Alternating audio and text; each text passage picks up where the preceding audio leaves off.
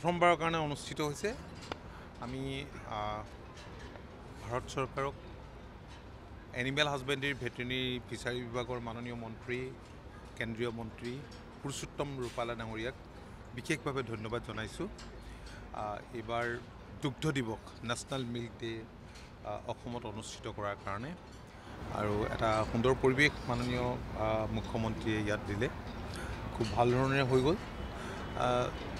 আজি ভাৰ্গিছ কুৰিয়ানৰ জন্মদিন। যিজন পায়নিয়াৰ মিল্কমেন শ্বেত বিপ্লৱৰ মূল নায়ক ভাৰতত। আপোনালোকে জানে যে এটা সময়ত ভাৰতবৰ্ষই গাখীৰ ইম্পৰ্ট কৰিছিল। কিন্তু এতিয়া আটাইতকৈ বিশ্বৰ ভিতৰতে বেছি উৎপাদন কৰা ৰাষ্ট্ৰ হৈছে ভাৰত। সেই অনুপাতে আমাৰ অসমৰ হোৱা নাই। যদিও পৰম্পৰাগতভাৱে অসমৰ মানুহে গাই পোহে কিন্তু আমাৰ গাইবিলাকে বেছি গাখীৰ নিদিয়ে। ডেৰ লিটাৰ দুই লিটাৰ এনেকৈ গাখীৰ দিয়ে। আৰু সেইকাৰণে আমি খুব জোৰ দিছোঁ আৰ্টিফিচিয়েল ইনচেমিনেশ্যনৰ ওপৰত। আৰু এতিয়া ছেক্স শ্বৰ্টেজ চিমেণ্ট বিতৰণ কৰা হৈছে। ক্ৰয় কৰি ফাৰ্মাৰ্ছৰ মাজত এইখিনি অলপ পপুলাৰ কৰিবলৈ বিচৰা হৈছে। আৰু এই কামখিনি কৰাত আমাৰ বিভাগৰ বিষয়াক আমাৰ যিসকল ভেটেৰিনেৰী ফিল্ড এছিষ্টেণ্ট আছে আৰু গোপাল মিত্ৰক লৈছোঁ আমি। সেই কামখিনি ৰাজ্যখনৰ বিভিন্ন ঠাইত চলি আছে। এনেই আমাৰ গাখীৰ উৎপাদন ৰাজ্যখনত হয় কিন্তু অৰ্গেনাইজ ছেক্টৰত নাই গোটেইখিনি। অৰ্গেনাইজ ছেক্টৰত থকা সংখ্যা খুবেই কম। কিন্তু প্ৰত্যেক দিনে আমাৰ প্ৰায় টুৱেণ্টি নাইন লাখছ লিটাৰ গাখীৰ প্ৰডাকশ্যন আমাৰ হাতত থকা তথ্য মতে ষ্টেটিষ্টিক্স মতে ইমান প্ৰডাকশ্যন হয়। আৰু আনাদাৰ টেন লাখছ লিটাৰ আমি দৈনন্দিন কেনেধৰণে বঢ়াব পাৰোঁ তাৰ কাৰণে কেতবোৰ পৰিকল্পনা আমি কৰিছোঁ। এই ক্ষেত্ৰত যাতে আমি স্বাৱলম্বী হ'ব পাৰোঁ আৰু মাননীয় মুখ্যমন্ত্ৰীৰ গাইডেঞ্চ মতে এম অ' ইউ হৈছে কোপাৰেশ্যন বিভাগে এন ডি ডি বিৰ লগত কৰিছে। Fifty percent share N D D বিৰ থাকিব ফিফটি পাৰ্চেণ্ট শ্বেয়াৰ ষ্টেট গভমেণ্টৰ থাকিব। আৰু তাৰ কাৰণে যিখিনি কৰিব লাগে গাখীৰ উৎপাদনৰ কাৰণে গৰু ক্ৰয় কৰা ভাল জাতৰ। আৰু ঠিক তেনেকৈ গাখীৰ প্ৰডাকশ্যন হ'লে প্ৰচেছিঙৰ কাৰণে আমাক মিল্ক প্ৰচেছিং প্লেণ্ট লাগিব।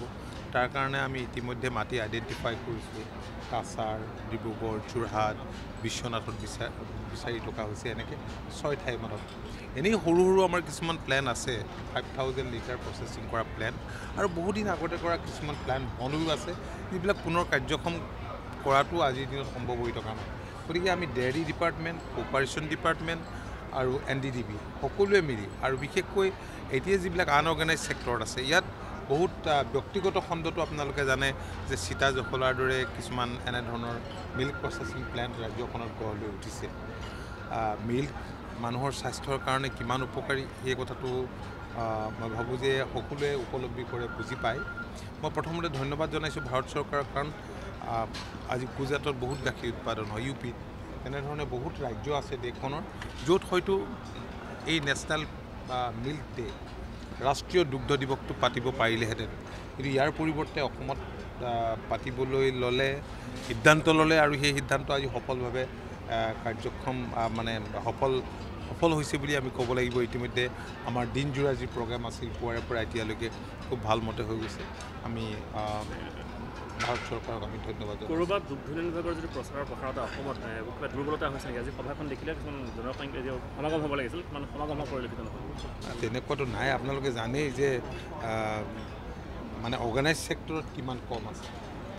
ইয়াত আমাৰ লক্ষ্যও সিমান নাই। ইয়াত বহুত তেনেকৈ মানুহ আনি পেলাই এখন ডাঙৰ সভা কৰা সভা নহয়। ইয়াত বেলেগ বেলেগ ষ্টেটৰ প্ৰতিনিধিও আহিছে আপোনালোকে জানিলে অৰুণাচল বা নিয়েৰেষ্ট হেৰি। গতিকে আমি যিমান হ'ব বুলি ভাবিছিলোঁ তাতকৈ এক্সপেক্টেশ্যনতকৈ আজি ইয়াত মানুহৰ সংখ্যা কি বাঢ়িছে। আৰু ইয়াৰ উপৰিও আপোনালোকে দেখিছে যে ইয়াত কিছুমান ষ্টল বিভিন্ন ষ্টেটে দিছে যিবিলাকৰ পৰা আমাৰ মানুহে বহুতখিনি জানিবও পাৰিব আৰু শিকিবও পাৰিব আৰু সেইটো কণ্টিনিউ হ'ব আজি থাকিব।